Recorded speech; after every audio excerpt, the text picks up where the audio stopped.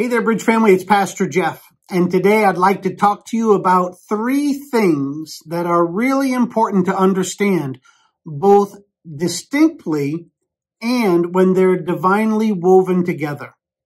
Those three things, like the head, the heart, and the hands of the believer, are in this time fishing, fighting, and fixing.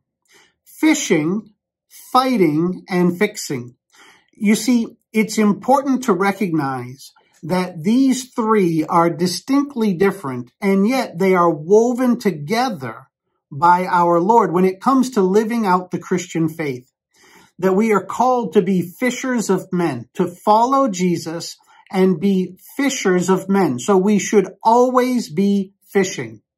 At the same time, we're called to fight the good fight, to live in the full armor of God which means that we've been called to live in the fight of spiritual warfare as fighters for the kingdom. Now we fight with different tools. We fight with truth, love, prayer, witness, and so forth. But recognize we're called to be fishers all the time. We're called to be fighters all the time. And we're also called to be fixers all the time. We're to help fix this broken world. That's the essence of sharing truth and love, living it out as a witness, to be fully engaged with helping this broken world find its healing and its hope in the one true healer and hope, Jesus the Christ. I bring this to you because it may seem obvious that we are to be fishers of men, we are to be fighters for the kingdom, and we are to be fixers with truth and love.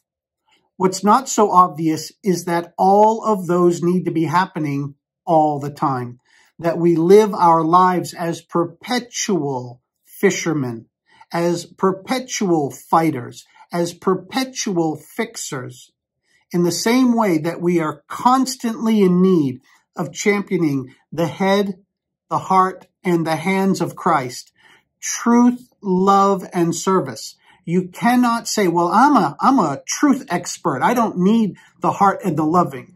Or, oh, I'm a, I'm a lover, so I don't need the truth or the hands on.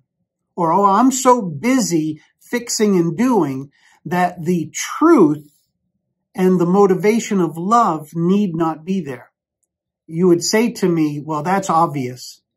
Well, my prayer is that you'll see it's obvious that you cannot just be fishing without being active in the fighting and also simultaneously committed to being in the fixing process of helping people with truth and love. The, the warning here, and I pray the witness that I share with you now, is that it is a simultaneous, all the time, always happening truth. And that some of us are going to tend to be wired in such a way that we tend to be lopsided and we think that if I'm doing enough of one, it covers for a lack of the other. And I want to call you to the truth that is the tension of the Christian life.